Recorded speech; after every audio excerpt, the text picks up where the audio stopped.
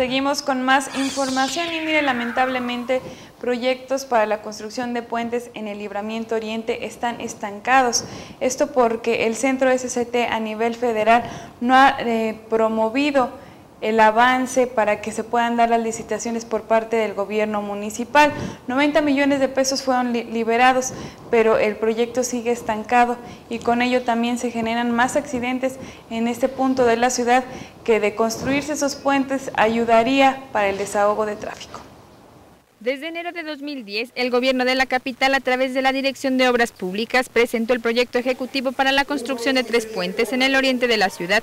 En el mismo mes, el proyecto fue aprobado por la Federación. Presentamos desde el año pasado el proyecto ejecutivo de la solución, de la solución Vial Oriente, que comprende los puentes de la calle 71 de Ricardo B.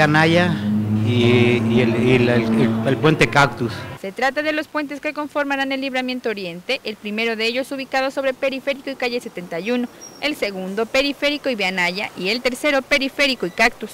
Para la primera etapa, la federación aprobó más de 90 millones de pesos. Sin embargo, el centro SCT que coordinará el proyecto y pese a que hace más de un año la federación aprobó el mismo, no ha dado la validación para que arranque la obra. Teníamos un recurso aprobado por la SST de 90 millones de pesos. Este, esperamos la resolución de ellos, pero ya tiene tiempo el proyecto ejecutivo entregado a para su validación. Tenemos ahorita, eh, pronto eh, estaremos viendo al delegado de la SST para ver qué pasó con los proyectos aquellos que están aprobados desde enero, eh, de unos puentes que se habían autorizado, para ver para cuándo más o menos estaremos en condiciones de estarlos recibiendo. la... la obra se tiene proyecto de ejecutar en tres etapas, iniciando con el puente de la 71 con una inversión de más de 90 millones de pesos y para que pueda concluirse antes de que finalice la actual administración municipal, tendría que iniciar a más tardar en menos de un mes.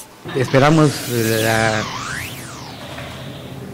que tengamos recursos suficientes para continuar antes de que termine la administración. Y es que mientras la dependencia federal SST, que se encargará de coordinar las obras, no convoque al gobierno municipal para definir detalles y anuncie las licitaciones, la obra que se ha retrasado por más de un año seguirá congelada al igual que el recurso. Pues necesitamos que nos, que nos resuelvan lo del recurso para empezar a trabajar, empezar a licitar y hacer todo el proceso que nos marca la ley.